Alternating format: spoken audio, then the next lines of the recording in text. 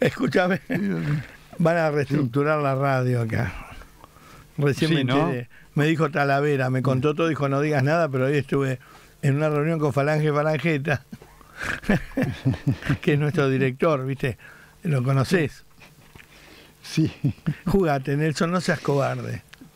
No, no, no. Vamos para adelante, todos juntos. Estuviste en 10 guerras. No te jugás contra Falangeta.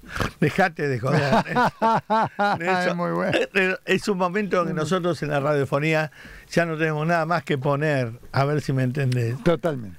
¿Qué nos queda? Totalmente. Nada. Nada. Sí, sí. Hemos dado todo y, y- y seguimos viviendo en el mismo lugar. En algo le. Totalmente. Escucha- Escuchame, Nelson. ¿Qué novedad? ¿Viste el puente Sí. que se cayó? Tremendo. Parece, lo hablaba con Luca, parece de cine catástrofe eso. Eh, vos sabés que yo conozco un poquito, no de eso, conozco de barquito, eh, de barco de papel. Es terrible, Claro. la gente no tiene idea lo que pasa Mm. cuando se te plantan los motores. El Mirá, quedar a qué la momento, deriva, ¿no? ¿eh? Mm. Quedar a la Estar deriva, al garete, ¿no? al garete, quedar a la deriva es terrible porque no hay frenos, uno está acostumbrado a frenar con el Claro, auto. Acá claro. no. Eh, lo que no entiendo por qué no tiró el ancla, porque cuando pasa eso, automáticamente apretás un botón y caen las anclas. Y quedás Ah, mira estás. vos, no lo sabía eso. Claro, cuando vos se te plantan los motores, os digo esto porque hoy estuve viendo televisión a la tarde, y ahora dejaron de ser todos especialistas en dengue. Sí, claro, Y- claro, y claro, ¿no? Ahora son todos especialistas en barcos de, de- de- de manga muy grande. Entonces, manga larga, sí, porque viene el invierno. Entonces, hoy opinaban todo lo que es, ¿viste? Y yo decía, no, lo que hay que, vos sabés que es muy importante. Yo tengo carnet de patrón de a bordo, que es un poco más Ah, que mirá. timonel. Y tenés que hacer un curso muy eh, eh, exhaustivo en prefectura. Y lo que te Mirá, enseñan es mirá. que cuando se te plantan los motores, tirás el ancla y quedate donde estás, porque la corriente te lleva contra la orilla y te matás. Claro, claro. ¿Entendés? Mira, ahora, lo que debe significar, y eh, ya apelo a esto, porque yo me hacía esta imagen, por supuesto que fue una, una tragedia que quedó ahí en el puente. Ahora, ¿qué pasa si un barco de estos queda a 300 metros al garete en medio del mar con una tempestad, no? Y se hunde. Porque lo que te ayuda a vos a pelear las olas es el motor. Por el eso, motor, no la propulsión. por eso se pide mucho motor en los barcos, aunque sean de paseo. Mirá. Porque a vos contra Mirá. una ola difícil, lo único que te salva es la fuerza del motor. Si, si vos perdés la fuerza del motor, sos un papel en el agua. Mirá. Es la diferencia entre la vida y la ¿Qué muerte. no? Por eso en Miami, vos cuando vas, fíjate que lo- las lanchas de paseo y todo tienen cuatro o cinco motores. No uno. Ah, mira vos. Eh, no es para Mirá, tener más no fuerza, lo porque los motores Claro. no, no te dan más velocidad. Te dan más fuerza contra las te olas. da más fuerza.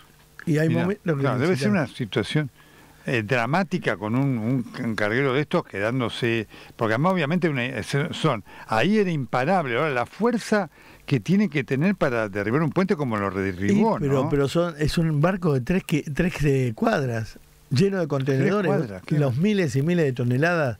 Y, y te digo otra cosa, normalmente estos puentes tienen una defensa eh, bajo el agua que es como, como una bicisenda Ajá. Que hace que cuando, eh, cuando vos te acercas al puente cada vez so- es más alta, hasta casi flor de agua, que vos le pegás a eso con el barco y no llegás a la columna. Este no la tenía. Mirá, Este no la qué, tenía. qué increíble, ¿no? No, sí, no, claro, Porque lo tira como si fuera de papel, de, de- de un, de un mecano, Y porque le pega directo a la columna y es de hierro. Entonces el hierro, viste, el hierro, por más que eh, la ingeniería es maravillosa, porque un, un pedacito de alambre y, y semejante puente, ante la misma adversidad, responden igual. O sea, vos a un pedazo de alambre le pegás a- con un lápiz y lo doblás, y a esto le pegás con el semejante be- bestia y lo tirás. Mirá lo que es el barco, es- no puede ser más grande. Ahora, una cosa impresionante porque obviamente me estaba acordando del episodio que se vivió acá en el puente Zarete Brazo Largo, ¿no? Claro. Ah, pero ahí le ganamos. Porque nosotros teníamos unos basamentos con defensa de, de cemento, este, de, concreto, que soportaban el golpe. Que eso es lo que yo te digo.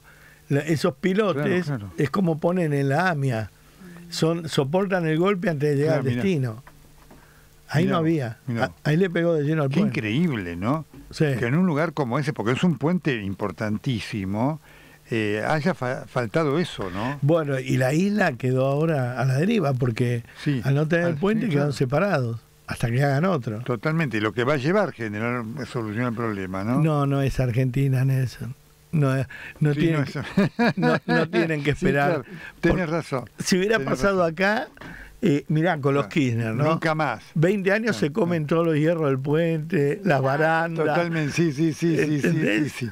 Y eh, se la dan a Lázaro Báez la obra. Se la, dan a, se la dan a Lázaro Báez y, y el puente está agarrado, viste, con dos clips. Hasta que. Claro, claro. Pero no, no, Claro, realmente no, ellos creo que trabajan de otra forma. Eh, vos sabés que, te voy a contar una anécdota, una vez en Miami hay, hay varios puentes de estos, pero te los levantan cada media hora.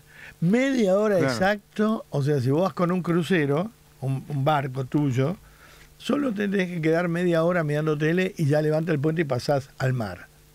Que, que- Ajá. que son los- eh, la vez pasada, hace dos años, fuimos a comer a Villa Laniata. Y hay un puente bajito, entonces eh, estaba alto. Me fui a un restaurante a comer con un barco. Cuando vuelvo, estaba el puente bajo. Ay, Nelson. Ah, Me tuve que bajar por el puente, trepando por el puente. Ir a hablar con No los vecinos. no. Los vecinos, es un pueblo, ¿viste? Los vecinos Sí. de golpe, ah, José. No, José esta hora duerme. Entonces me consigue alguien el teléfono de José. Lo llamo a no, José pero, qué bueno. y me dice, no, ahora estoy durmiendo. Le digo, pero yo No. me quedé acá varado con el barco. Y bueno, pero yo estoy durmiendo, hoy es sábado. Entonces a- a- como- le, le digo, mire, eh, Babi en Checopar, yo lo voy a decir por la radio. Babi, te escucho, espera que. Y viene un tipo en bicicleta, viejito, que, se, que aprieta el botón y levanta el puente. No me Una cosa no me extraña. Pero bueno, en, en organización no estamos bien, pero en, en cemento. No, sí. no, querido. No, no, es muy bueno, es muy bueno. Qué, qué anécdota fenomenal. Pero vos, sabés, fenomenal. ¿cómo vas a tener un puente que el viejito lo abre cuando tiene ganas? Claro, claro. Quedás aislado de del los giles, Claro, la odisea- quedás aislado del mundo. Quedás aislado del Sí, mundo. es muy bueno. Pero bueno, gran anécdota, gran anécdota. bueno, tiene, Bueno. todo mucho más organizado, Nelson. Y te digo, con respecto a la radio y la situación, no Sí, te asustes, sí. pon el pecho que yo te acompaño. No te olvides que. Pero lo sé, querido. Con vos, Pero- querido, ¿Con quién estás. Nelson? ¿Con quién estás, Nelson? Está con la estrella de Babi, que- perdón, con la estrella, perdón, déjame corregir. Con el sol de Babi, ¿qué con la estrella, querido? Sacá pecho Por favor. y arremeté que yo te sigo. Olvídate. Totalmente, querido. Ya arreglé lo tuyo. Ya me siento imbatible. Es más, arreglé lo de tu plata también. Mira, muy bueno. ¿Te gusta? Escucha lo que te digo. ¿Te gustan 200 mil dólares por mes? Mirá, qué bárbaro, qué bárbaro. Podés pagar No, 100 mil ahora, dijo Figoli. y 100 y 100 mil cuando se vaya Luis Miguel. Es muy bueno. bueno, Nelson, querido, te mando un beso grande. Un abrazo. Qué lindo compartir este momento contigo, y todo tu equipo. Me Un saludo y buen programa. Chao, chao, hermano.